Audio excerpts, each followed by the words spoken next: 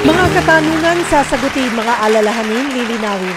Ito ang programang tulay nyo sa serbisyo publiko. Ako po ang inyong kapatid Cheryl Cosim, Sagot Kita. At napapakinggan nyo po kami sa 92.3 Radyo 5 True FM. Dito tayo sa totoo. At live din po tayo syempre sa FB page po ng True FM. Please do follow us on Facebook.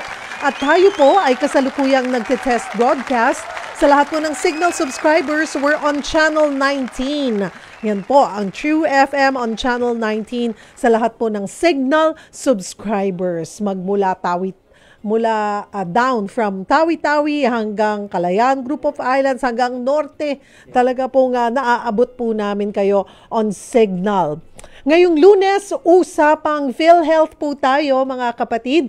Nanawagan ang ilang kongresista, kabilang po si Congresswoman Stella Kimbo, na bawasan po ng PhilHealth ang kanilang premium rate o yung mga hinuhulog po nating mga miyembro. Ito ay dahil sobra-sobra umano yung pondo naman pala ng ahensya. Ngayong taon, epektibo po ang 5% na premium hike mula sa dating 4%. Yan po ay katumbas ng 500 hanggang 5,000 pesos na monthly contribution. Depende po yan sa ating sahod. Posible nga bang bumaba pa ang contribution? At kung hindi, anong mas malawak na mga programa ang dapat nating asahan mula po sa PhilHealth? Pag-usapan po natin yan mamaya kasama po ang PhilHealth at ang ating question of the day. Tanong po namin sa inyo mga kapatid, nagagamit nyo po ba ang inyong mga benepisyo sa PhilHealth? Paano nyo pa mamamaximize? Baka may mga gusto po kayong suggestion, yung pong inyong mga concerns, maaari nyo pong ipaabot sa amin para maiparating po natin sa PhilHealth. Maari nyo pong i-post ang inyo pong uh, saloobin, inyong mga concerns sa ating live stream at mamaya po ay papasagot po natin yan sa ating guest at babasahin po natin. At maaari rin po kayong diretsyong uh, magtanong, maaari po kayong tumawag sa ating Tanungan Hotlines 8631-5788 or sa 8631-6674. Again, that's 8631 5788 or 86316674. Tawag na po kayo or post po kayo sa ating live stream. Oras natin 11 minutes after 4 p.m. Live na po dito sa studio si Sir Ray Balenya, ang Acting Vice President for Corporate Affairs ng PhilHealth. Sir Ray, good to see you again. Good to see you, Ma'am Cheryl. Magandang magandang hapon at syempre sa lahat ng taga-subaybay ng sagot kita. Magandang magandang hapon po sa inyong lahat. Ayan, ipa-explain po natin. Syempre, pag narinig natin ang ila ating mga mambabatas, um, Sir Ray, na mm-hmm. sobra-sobra naman pala yung pera nyo eh. Bakit di namin nararamdaman? Parang ganun ang reaction. Mm-hmm. Pero explain natin ano, kung bakit din um, uh, o tumaas hanggang 5% yung monthly contribution ng isang PhilHealth member. Okay, from 4% this year, 5%.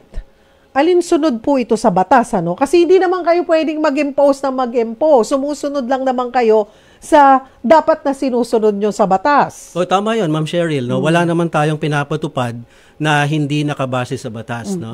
At ang atin pong mandato, ano ang uh, provisions ng batas, dapat yan ay ipatupad ng PhilHealth sapagkat kung anong nasa batas, Ma'am Cheryl, ay yun ang makabubuti sa atin pong mga kababayan. Oh. Ngayon, sabi mo, for, from 4% to 5%. No? Kasi gawa nga nung last year, dapat yan ay 4.5%. Mm-mm. So dapat manggagaling tayo dapat sa 4.5, kaya dapat effective this year, ay nagkaroon lang ng aumento na 0.5%. No? Oo, pero, pero gawa nga nung uh, sinuspende yan ng ating Pangulong Bongbong Marcos Jr., kaya napako sa 4%, yan yung rate ng 2022. Mm-hmm. Ngayon, uh, for 2024, batay po sa Universal Healthcare Act, no, sa Section 10, ang atin pong contribution rate uh, ay uh, 5%, ma'am mm-hmm. uh, Cheryl, Opo. ng uh, monthly income po natin yan. Uh-huh. At ang pinaka-ceiling na po natin ay 100,000 pesos. Oo. So, kung ano po yung nasa batas, ayun lang ang ating pinapatupad, Ma'am Cheryl. Mm-hmm. Sako po nito lahat ng miyembro. Ah, lahat ng direct contributors. Okay. Lahat po Sino nung- po sila direct contributors? Yes, sila po yung mga kababayan po natin na mga empleyado, merong employer-employer relationship at ah, yun pong mga self-paying at self-earning individuals, no. Diyan kabilang na rin yung mga kababayan nating OFWs. Okay. Yun pong mga may sariling pinagkakakitaan, ano po, yung mga kasambahay diyan din papasok no sa direct contributors, no. So, napakalaking ah, ah, segment o portion ng population ay direct contributors no at sila po ang ah, ah, ang ah, sus- ang kumbaga sa kanila no nakaukol itong provision na ito na 5% ang ah, ating contribution rate Sino lang po yung hindi nagbabayad? Yung mga indigent. Well, yes, ah, yung mga indigents at yung iba pang mga kababayan natin by virtue of special laws, no? So pangunahin yung mga mahihirap nating kababayan na nakalista sa listahan ng DSWD. Yun pong mga senior citizens. Yun pong mga PWDs, no? Okay, not necessarily they're not paying. The government is uh, covering on behalf of them. Actually, thank you, no? Oo, po yun. papunta tayo dyan. Sabi Okay. ko nga ay pwedeng sila mismo ang hindi nagbabayad. But someone is paying for our Mm-hmm. kababayan. No? At tama po kayo, national government Mm-hmm. ang ah, nagbabayad ng kanilang taunang contributions. No? At ah, yan ay nanggagaling sa ah, sin tax collection. Mhm. Okay, puntahan po natin Mm-hmm. yung nangyari po sa Kongreso. Ang sinabi po ni Congresswoman Kimbo, ah, Estela Kimbo, na sobra-sobra ang pondo nyo. Mm-hmm. Okay, ano pong ah, ah, take dito or reaction po ng PhilHealth? Well, lubos po natin na ina-acknowledge yun, no, Ma'am Cheryl, sapagkat ah, talagang yan ay kahayagan ng ah, atin pong na mahusay at maayos na financial no, management. At ah, yan ay manifestation din, Ma'am Cheryl, ng ah, tiwala ng ating mga kababayan sapagkat tuloy-tuloy at tumataas no yung ating ah, contributions from the direct contributors. At ang national government naman ay hindi nagkukulang taon-taon. Merong national government subsidies para sa mga indirect contributors no. So ah, sabihin na natin na talagang ngayon malakas na malakas no yung financial standing ng PhilHealth pero ang sinasabi natin sa lahat ng mga reforms sa lahat ng mga pagbuti at enhancement sa mga benepisyong pinapatupad ng PhilHealth. In due time itong sinasabing sobra-sobrang mga pondo ay ah, mapupunta rin no pabalik sa healthcare system in the form of benefit payments sa mga hospitals. Kasi ngayon pinagbubuti natin yung mga benepisyo. Tumataas ng more than double, nagti-triple pa yung ibang packages natin. Yung breast cancer, napalitaan mo siguro, dati 100,000 ang coverage natin doon. Pero inaprubahan po ng PhilHealth Board na yung ating breast cancer coverage po ay magmula 100,000 ay up to 1.4 million na po ang maaaring sagutin ng PhilHealth sa bawat isang breast cancer patient. So, ngayon, nandito kami sa Sagot Kita program. Sa dami ng nakikinig sa iyo, Ma'am Cheryl, sigurado yung mga kababayan natin, yung mga nagdadalawang isipang magpagamot, nababalitaan po nila yung pagbuti ng benepisyong PhilHealth. Sigurado eh. Sigurado may empower yung mga kababayan natin. They will seek treatment na sa iba ay nagdadalawang isip pa. Ngayon, hindi na. So kapag ka tumaas lalo yung na-empower natin yung mga pasyente, ay hindi, magpapagamot na ako. Magandang maganda na eh, yung PhilHealth coverage ko. So magta-translate yan siyempre eventually sa mataas na utilization rate at pagkatapos, yan magta-translate yan sa mas malaking mga pondong lumalabas sa PhilHealth at pumupunta sa mga ospital Okay. na gumagamot sa mga patients natin. So Sir Ray, ang sinasabi po kasi ay inaasahan na makakakuha po ng 173 billion pesos na pondo ang PhilHealth mula pa lang sa contributions noong 2023. Mhm. Tama po ba yon? Um, kung hindi man po nagagamit lahat ng miyembro, actually sa lahat po ng health health insurance, ay sa lahat ng insurance, health card yung gusto natin niya, sige, nagbabayad tayo, pero as much as possible, ayaw nating nagagamit. Correct, correct. Diba, mga kapatid? At kung ano man po yung contribution na naibibigay natin, ay ah, siguro ang pinaka nakikinabang po dyan. Parang naitutulong po natin yan sa mga kababayan natin na may mga mas seryoso po o may mga ah, sakit nga po. Pa, Doon na lamang yan pumupunta. Pero lumalabas ba doon sa nangyari po sa Congress ay ang nakita ay yung sobra na hindi po nagagamit. Anong nangyayari po sakaling may excess nga po na funds? Well, Ma- ngayon, maaaring sabihin natin may excess funds na Ma'am Cheryl. Opo. Pero ang sinasabi nga natin dito, simula last year, sunod-sunod na yung mga benefit increases po natin. Pagkatapos bumibilis, bumubuti yung pagbabayad natin sa mga hospitals. Sabi nga natin, in due time, itong mga sinasabing sobrang pondo, lalabas ito eventually eh. Wala Tapos babalik sa mga hospitals. Sa mga ospital? Well, Kamusta? ah, gusto natin na linawin, Ma'am Cheryl, no? at any given time, meron tayong obligasyon sa hospitals. Because as we speak, merong pina-file na claim yung mga hospitals, di ba? Pero ang pinag-uusapan natin dito ay kung, syempre, nababayaran ba namin within the prescribed Yeah, ah, ah, period. period. Eh, ang good news po, Ma'am Cheryl, basta good claims, ha? Aha. Basta good claims, ang ating pong average turnaround time is mga 32-33 days. Okay. Sa batas, sinasabi, oh, PhilHealth, pagka, pagka-submit ng claim sa inyo, in 60 days dapat ma-process at mabayaran. What I'm, what I'm saying is, on national average, 32-33 days nababayaran na po namin. Ang usapan dyan, basta good claim. So, ibig sabihin, meron talaga mga claims na binabalik sa hospitals kasi may defect, may mga deficiencies. Merong mga claims dinedeny kasi may mga violations na talaga. So, yung mga yon malaking bulto din yon. So, ah, sa mga sa mga kiniklaim no ay ah, nasasama pa itong malaking bulto ng claims na dapat ay hindi na naisasama sa count no kapag ka kinikwenta natin yung obligations ng PhilHealth sa hospitals. Pero unfortunately, na naituturing pa rin ito ng mga receivables ng mga hospitals. Kaya nga pagka kausap namin yung mga hospitals at naipapakita natin yung record no na ito lang po talaga yung claims na nasa amin na dapat naming babayaran. So nare-realize ng mga hospitals ay oo nga dapat pala ibabawas na natin ito doon sa mga receivables natin at dapat i-comply natin sa PhilHealth nang sa gayon mabayaran. So at any given time meron tayong obligasyon sa ospital pero kung meron man sa nakaraan na mga backlog, eh yan ay sinusolusyonan na po ng PhilHealth. Okay. Ah, yung ah, dahil po din dito sa nakita napansin po ni Congressman Kimbo, parang lumalabas na hindi na dapat palakihin pa yung contribution.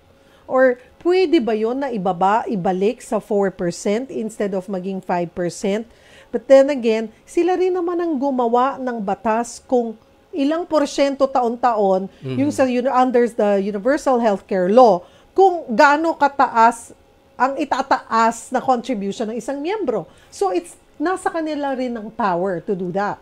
Tama, Ma'am Cheryl, no? Ah, yung pong unang sinabi ninyo no na tataas pa ba ito? Ayon sa Universal Healthcare Law, ito na yung huli. 5%. Oo, Okay. ito na. At dito na matatapos hanggang 2025 nga eh sa batas.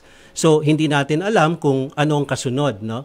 At tama po kayo, no? Ah, yung Kongreso ang may power lang din na amyendahan po itong ah, Universal Healthcare Law. At sa totoo lang, two years ago, nagsimula na yung mga proposals to amend the UHC law.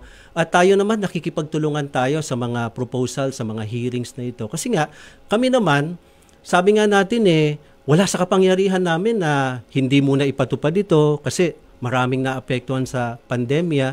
Eh, wala sa kapangyarihan ng PhilHealth yun eh. Ang atin is ah, talagang ipatupad yun. Kaya nga nakikipagtulungan kami sa mga ah, diskusyon, mga debate sa Kongreso para kung ano yung nakita nilang tamang contribution schedule na ipapatupad para sabihin na fair talaga, no? Fair, patas sa lahat ng mga direct contributors, yun ang susuportahan ng PhilHealth kasi yun yung mabuti. So, hanggat nandyan yan at hindi na amyendahan, sabi nga natin, our hands are tied. eh. So, Unless na gawin ulit ng Pangulo na isuspend. Yes, Siya oo. lamang ang pwede Mhm. niyan. Oo. Mhm. So, syempre, tayo naman ay kapag may direktiba ang Pangulo, talagang susundin natin. Sa ngayon ay wala namang direktiba pa ang Pangulo, no? Pinag-aaralan pa rin niya yan. Pero ang ang huling sinabi ng Pangulo dyan, edi ipakita ng PhilHealth. Ano ba ang magiging kapalit noong increase no sa contribution ng direct contributors? Yun, oo. For the rest of this program, pag-uusapan natin Yes. yung kapalit. Yun ang gusto natin, ano, kasi parang, um, okay, nagbibigay kami ng 5%, eh, anong sukli nyo sa amin? Yes, Diba? nako, marami bakit tayong kaming, ano. bakit kami gaganahan na magbabayad ng 5% monthly for a health um, uh, insurance? Mhm. Ano po? At, ang tanong ko rin, ano, Sir Ray, na aware ba ang lahat ng miyembro na ganito na nga kalawak, kalaki, ang ah, ang ah, coverage po o yung ganda ng benefits na makukuha sa PhilHealth. Hindi po natin maikakalila, no? May mga ilan po na ako sa ay hindi na ako mag-PhilHealth wala naman akong nararamdaman dyan. Magbabayad na lang ako ng ibang health card. At least nakikita ko yung big, ano ko, yung they don't mind paying as high as 50,000 a month. Pero nakikita, ah, a year, a year. Di ba may mga ganon yung mga health insurance. May mga packages pero, na oo, ganon. Pero nakikita nila na sa bawat pag ano nila, pagpasok sa ospital, paglabas, halos wala na silang binabayaran. Pag nakita nila yung PhilHealth nila, Mhm. ano ba naman to, hindi namin maramdam na, maramdaman na nabawas siya sa bill. So, yun ang gusto po nating ipaintindi sa kanila. Ano, nasa 5% na po yung ating Yeah. contribution. If you're earning 10,000, 500 po dapat ang binabayad nyo. Yes. You're earning 50,000, nasa 2 fa- 2,500 po yan dapat na monthly. Yun na ilang mga katanungan. So mga kapatid, kung kayo po ay may mga concern, maari po kayong mag-post sa ating live stream, maari po kayong tumawag ano po sa ating tanungan hotlines. Nandito po si Sir Ray hanggang alas 5 ng hapon para sagutin ang inyong mga concerns. Break po tayo ng kaunti. Huwag po kayong bibitaw at magbabalik po kami. Pero bago po tayo mag-break, may public service announcement lamang po muna kami. Ito po, um, ah, papakita ba natin? May photo ba tayong papakita? Nawawala raw po si Lolo Quirino. Ayan po si Lolo Quirino. Siya ay huling nakita po noong Miyerkules na naka-gray po siya na sando at shorts sa Bacoor area. Ayan po si Lolo Quirino. Kung may impormasyon po kayo, please um, ah, ipag-alam nyo po, ipag, ah, ihat, paghatid, ano tama ba? Ipag, ipagbigay alam. Thank you, Sir Ray. Ipagbigay alam nyo po sa 0917 4649704.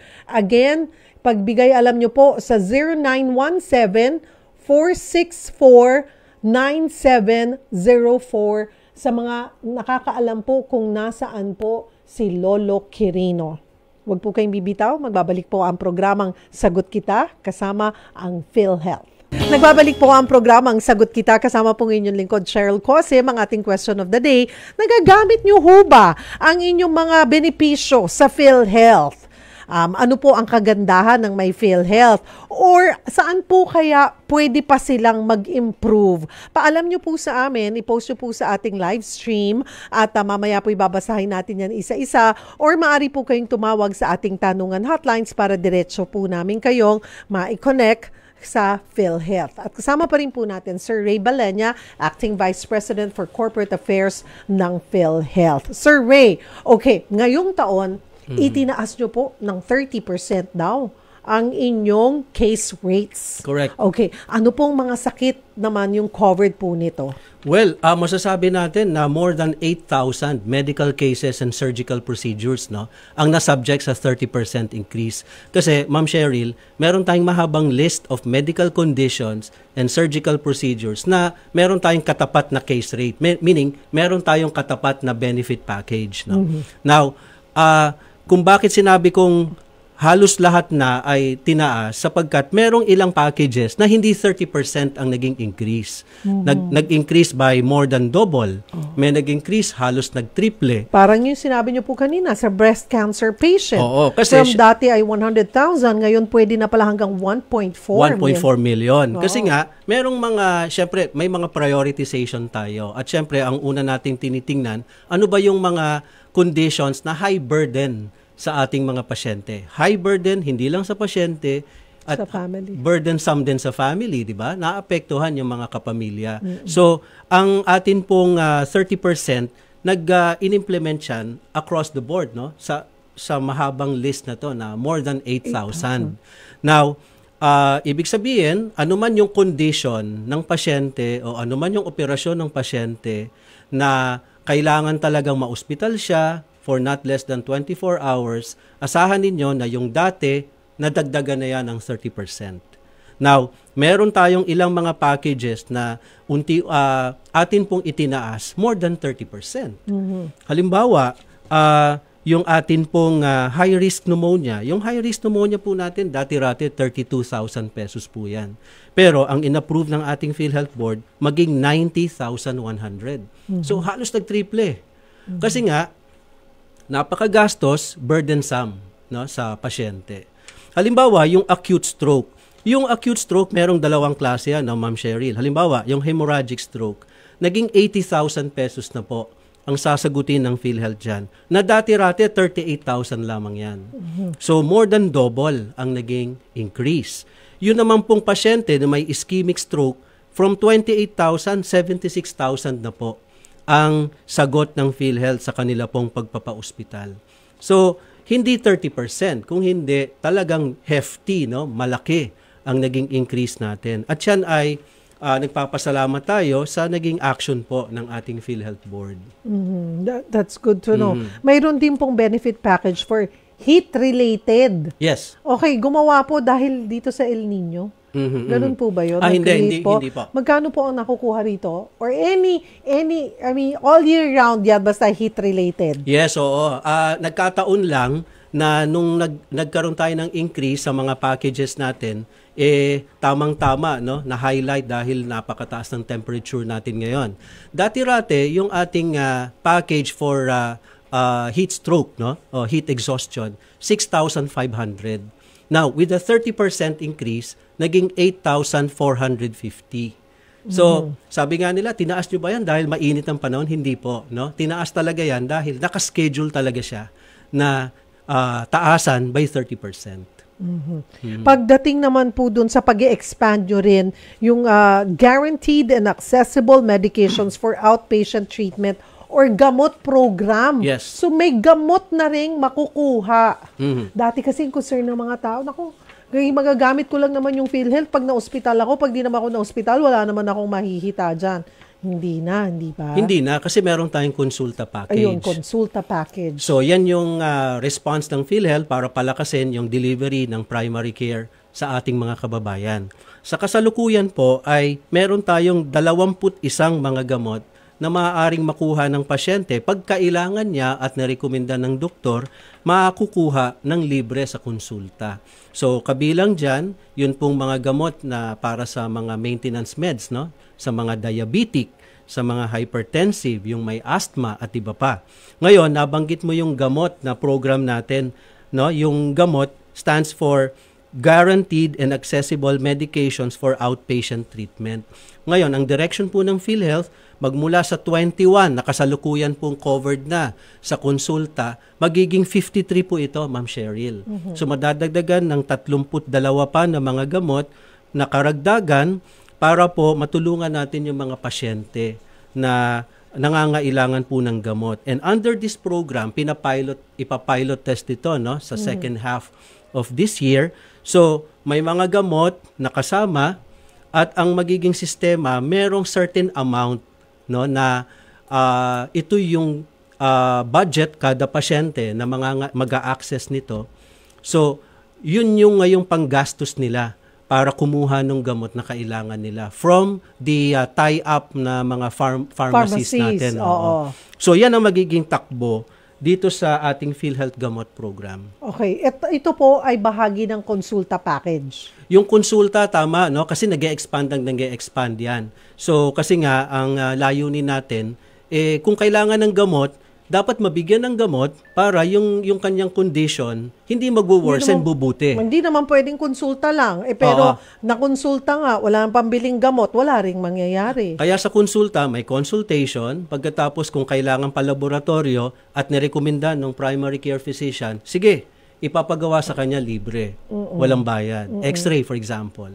Ang bawa, oh, kailangan mong gamot, diabetic ka. Magkano ang uh, mga diabetic meds ngayon, di ba? Ngayon, kung diabetic yung pasyente, mahalaga na meron siyang maintenance meds, no? At yung konsulta tutulong para mabigay yung maintenance meds sa kanya. Nang sa gayon, hindi mag gaganda yung condition niya, di ba? How much po ang coverage pagdating po sa gamot? Mabibigay ba monthly yan ng libre or may certain amount lamang po? Paano malalaman? Mm-hmm. Pare-pareho ba yan? Or kung kunwari, pa, or kung kunwari po yung isang tao, mas malaki yung contribution ko, ba't pareho lang tayo ng ano, ng mm-hmm. pwedeng uh, uh, makover na amount ng gamot? Yes, kasi ang sagot dyan, Ma'am Cheryl, yung ating konsulta package, ayan ay risk-based, no? Siyempre, yung consultation nandyan, kasi mahalaga tayo ay nakakapagpa-check up. Opo. Mahalaga yon na lahat ay na-check up ng sa gayon ay nalalaman ng doktor o kung talagang ano yung ating kalagayan ng kalusugan. No? At kung talagang may sakit yung pasyente, halimbawa diabetic siya, yung gamot na kailangan niya ay dapat ibigay sa kanila ng kumpleto. No? Hindi naman yan siguro isang bagsakan, Ma'am Cheryl, pero ibibigay para nang sa gayon hindi siya papalya sa kanyang maintenance. At wala pong bayad yon. Kasi yung atin pong capitation payment, yung budget ng PhilHealth, kada pasyente na naka-enroll sa consulta package provider, katataas lang eh, from 550, ginawa ng PhilHealth Board na 1,700. Bawat isa po sa atin na na may budget tayo na 1,700 sa PhilHealth, no? Sa konsulta. Pagkonsulta pa lang yan sa mga doktor. Yan, yung konsulta O, na, kasama na yung, yung- konsulta benefit package na Okay. kinapapalooban ng consultation, ng mga laboratorio at mga gamot. Now, okay. sabi mo, pwedeng kulangin yan na. Eh, ang sagot natin dyan, hindi naman lahat mangangailangan ng laboratorio. Hindi naman lahat mangangailangan ng gamot. Merong mga pasyente, malusog siya, ang trabaho na lang ng consulta package provider, tulungan siyang manatiling malusog. Pero kung yung pasyente may conditions na, yun ang trabaho ng provider. Tulungan siya na ah, gumanda yung kanyang pakiramdam.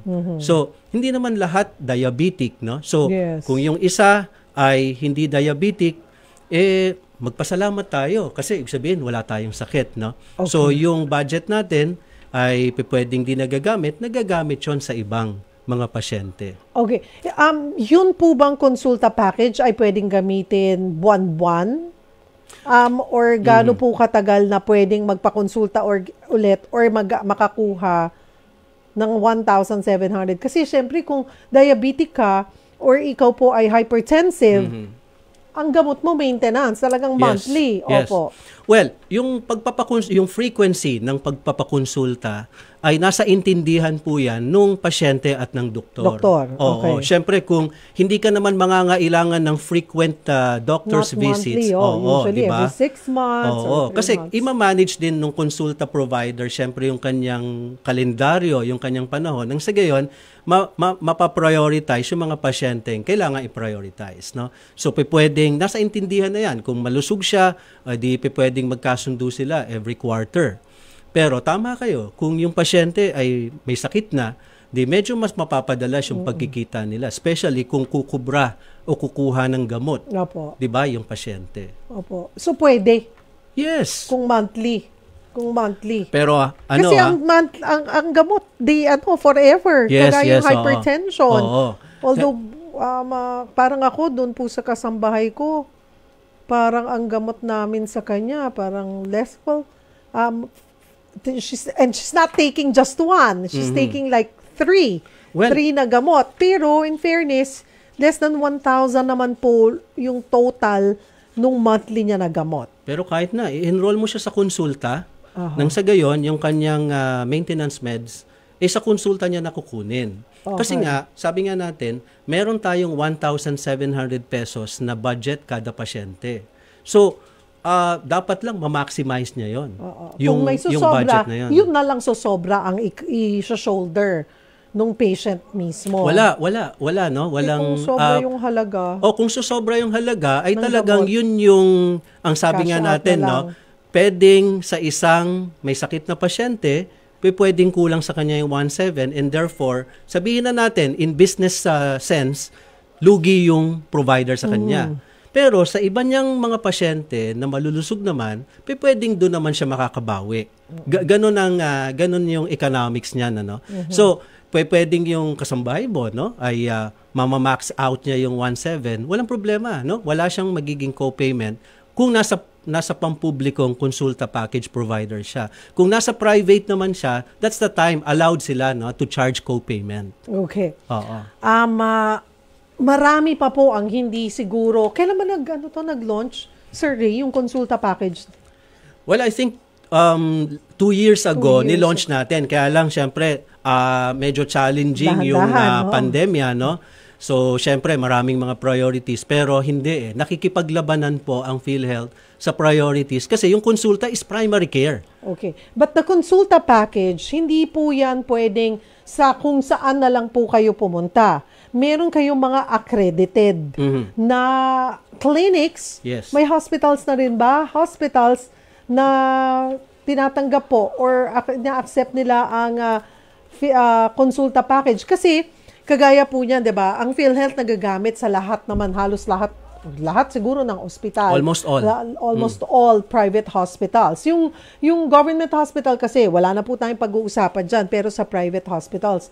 Ngayon, ang thinking po ng tao, ah, ito, tumatanggap ng PhilHealth. Akala nila, lahat pwede. Saan po ba pwede ang konsulta package? Okay. Bukas yung ating accreditation for consulta, maging sa mga levels 1 to 3 hospitals, yung mga outpatient uh, departments po nila. Ngayon, siguro sa mga nakaraan ay ang naging, uh, sabihin na natin, um, block no o yung yung nag, na, yung nakakapigil sa kanilang pagsali sa konsulta ay yung maliit na capitation budget no per patient kasi dati yan Ma'am Cheryl 550 lamang. Oo. Ngayon Pang-konsulta 1,000 lang yun. Talaga, Oo. wala na yun sa gamot. Ngayon, 1,700. Ah. So, napakalaking uh, increase nito. So, inaasahan natin, magbo-boost, no, lalaki yung bilang ng accredited na mga facilities. Hmm. Ang bulto ng mga consulta package providers po natin ay nasa hanay ng mga rural health units. No? Mhm. Kaya ang ating mga kausap dito at partner natin, yung mga gobernador, yung mga mayor, kasi sila po ang nagpapatakbo ng mga rural health units. No? Mhm. So, nandyan yung bulto. Ngayon, meron ding mga private primary care clinics. No? With the, with the increase from 550 to 17, so sigurado pati yung mga prime, yung mga network no, of primary care clinics ay may engganyo na rin na sumali po dito. Mm. Gano'n na po karami? Nationwide na po ba? Baka naman kasi sabihin, eh paano namin magagamit yan? Ang layo-layo sa amin, pamasahe lang, hindi pa namin maabot. Gano'n na po? Of course, um, sinusubukan po yan ng PhilHealth na mas maparami kung kaya. Kung papayag nga lang lahat eh, magpa-accredit po para napakadali po nating puntahan. Well, as of uh, April of this year, ay meron po tayong accredited na 2,548 Okay. na mga pasilidad na consulta package providers. I must admit, marami lang yan sa, sa pandinig, pero konti yan kasi ang target natin, lahat ng Pilipino ay ma-cover ng konsulta.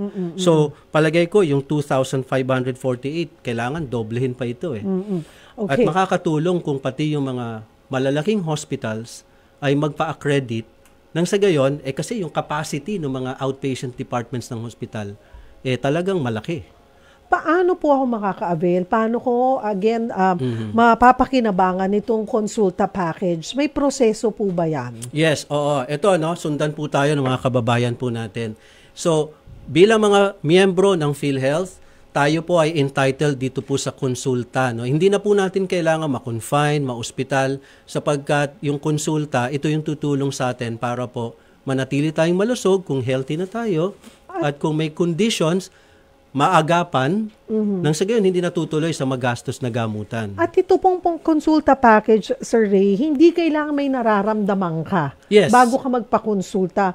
Kung ikaw ay miyembro, ito na po yung sinasabi ng mga marami pong members na hindi ko naman napapakinabangan yung PhilHealth membership ko hanggat di ako napapasok sa ospital. Ito po, hindi kailangang hintayin na mayroon kang nararamdaman, but more of preventive Correct. na napapatignan nyo malang, siguro yun yung talagang purpose din ano po ng Universal Healthcare Law at sa pagbabago po sa PhilHealth.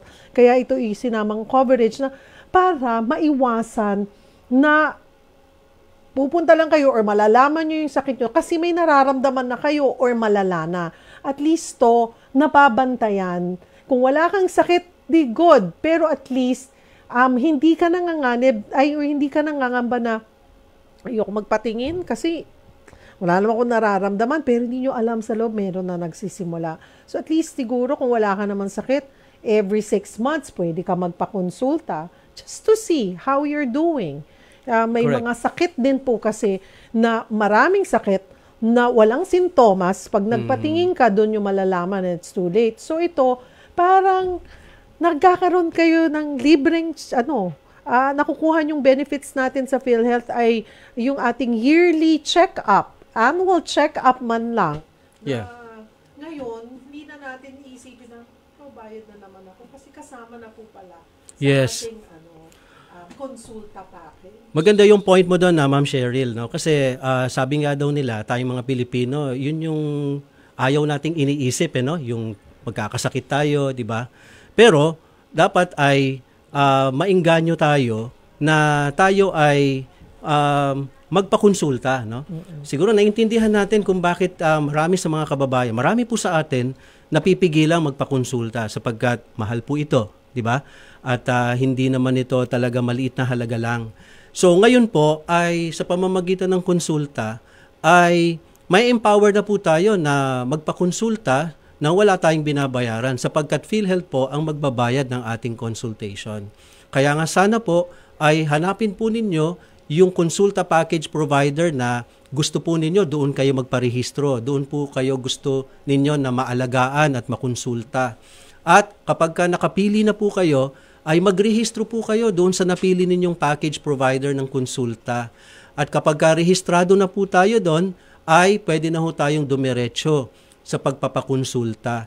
Ngayon, yung mga providers, Ma'am Cheryl, no, pananagutan nila na magsagawa ng health screening and assessment. So, kung tayo rehistrado na doon, ayun na.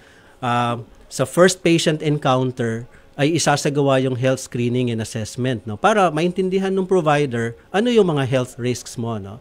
At kapag ka naintindihan nila yung health risks mo so sabi mo nga may nararamdaman ka ba ngayon o wala kang nararamdaman? Ang mahalaga oo Covered eh. natitingnan ka nung uh, doktor Kaya. at sabi mo nga, pwedeng wala kang nararamdaman, pero nung, sa, sa palagay mo lang yon Pero nung kausap ka na ng doktor, pwedeng meron siyang na makikita pala. sa'yo, di ba? So, eh kung hindi natin nagawa yon so, pwede, pwedeng lumala yun. Mas malala. Opo. at uh, mas magastos na yon later Diba? on. Pwedeng, na. nagpakonsulta ka, nakita, nasa borderline ng sugar level nyo. Mm-hmm. Kung dinedma nyo yan, baka kung pinatagal nyo pa ng one year yan, diabetic na kayo. Na Yes. sana'y naagapan naman po. No, ito yung parang pagpapahalaga eh sa ating kalusugan. And might as well take advantage of it, maximize it because benepisyo po natin yan sa PhilHealth. Wala tayong babayaran, consultation alone. Kasi minsan consultation alone, ayaw na ng tao kasi maglalabas sila ng pera. Wala po tayong ilalabas na pera. Yun lang, may proseso. Kailangan magpa-register muna. Yes, oo. Okay. Again, paano po ulit ang pagpapa ang proseso? Sir Ray, ulitin lamang. po. Well, una po, yung ah, magmula dito sa 2,548, pumili tayo nung package provider natin. Saan namin makikita yan? Makikita po ito sa ating website sa www.philhealth.gov.ph o kung meron tayong account sa PhilHealth Member Portal ay doon meron ding listahan at ang kagandahan doon Ma'am Cheryl doon mismo sa member portal pwede na tayong magparehistro sa napili nating konsulta package provider. So yun ang kagandahan kung may account tayo sa PhilHealth Member Portal. Kapag ka nakarehistro na po tayo, ay pwede na ho tayong dumiretso doon sa provider para mag- magpakonsulta na. Ngayon, dapat ready lang tayo sa kasi dapat magbibigay tayo ng consent kasi kukunan tayo ng picture doon. Yan ay kung hindi tayo nakakuha ng tinatawag na authorization transaction code. Ba, parang appointment system yan. Eh, no?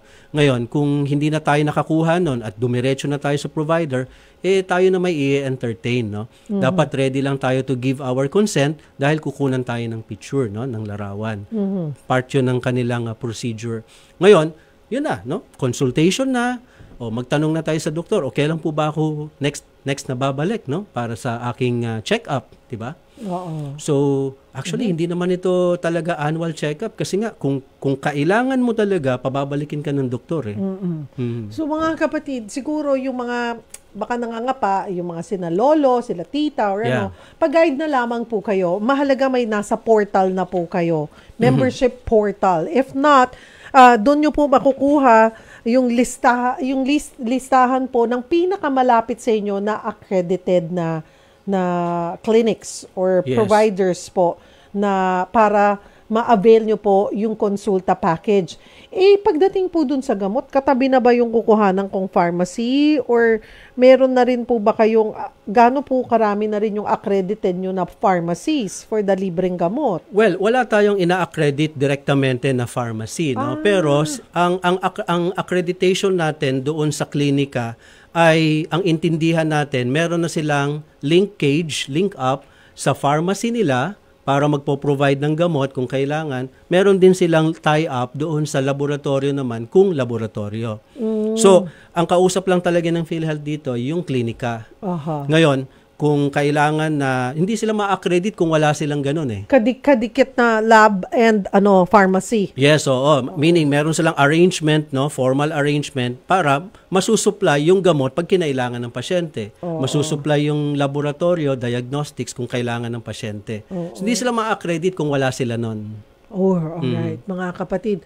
Abay, diretso po tayo sa mga katanungan. Bago ako dun sa mga katanungan, di na tayo magbe-break para ma-maximize po natin yung oras natin, uh, Sir Ray. Puntahan ko dun muna yung, ihabol ko yung mungkahi ni Senator Raffy Tulfo.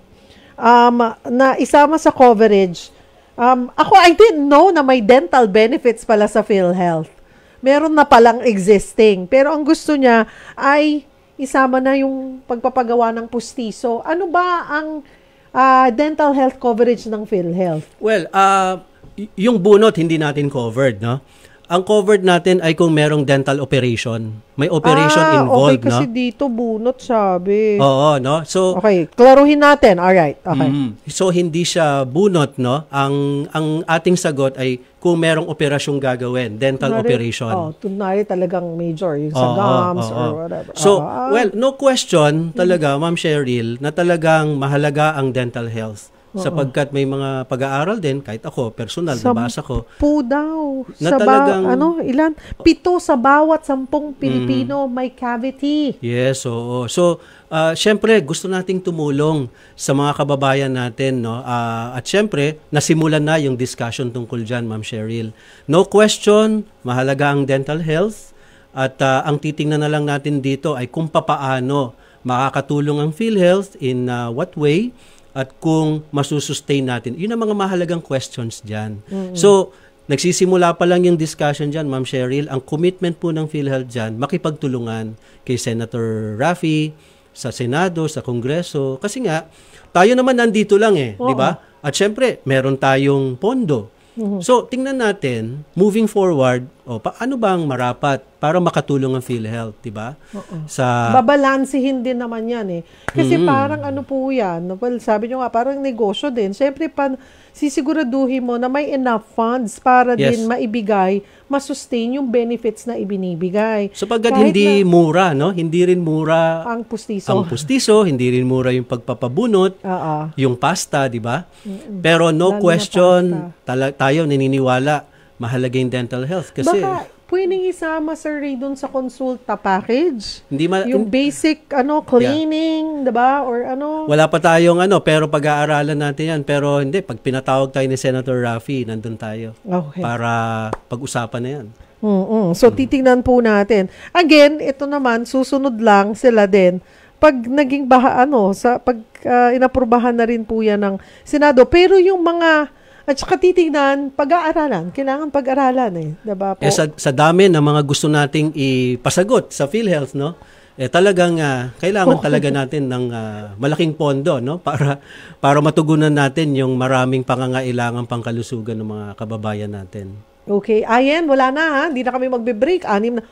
Sure. Sayang yung oras natin. Kukunti. Sir Ray. Ay, Ma'am Cheryl, Oo. kasi nabanggit mo kanina yung mga senior citizens. ah. Opo. Sana kung may fa-flash natin sa screen natin yung hotline ng PhilHealth kasi tawagan po nila ito, nila lolo, nila lola, aasistihan po sila ng mga kasamahan natin sa Action Center para sila ay ma-register Ah, sa Consulta Package uy, Provider. Ayan.